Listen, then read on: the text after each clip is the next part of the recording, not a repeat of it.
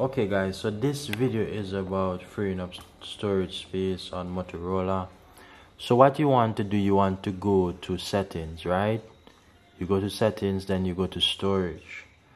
When we are in storage you will see a bunch of stuff showing you what is taking up the most space right?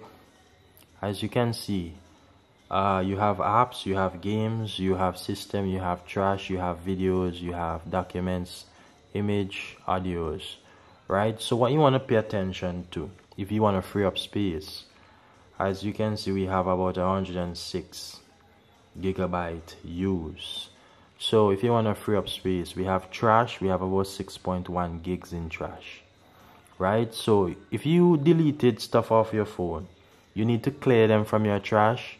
So um I am going to clear a few stuff here and you can just delete right? Uh, some devices are set to delete the trash at a particular time right? I didn't delete anything much just to give you an idea. You can always put some sort of setting on on your trash. So let me go back to internal storage. And uh, if you want to clear your entire trash you can right? So it says here files after 30 days in trash will be permanently deleted.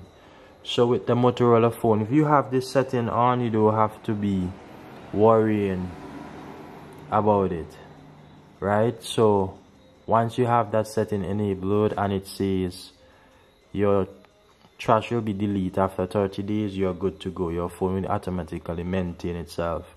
But if not you will have to manually delete all those things in your trash right? So that's how you can free up your storage space if you have one of these Motorola G stylus or pure or power.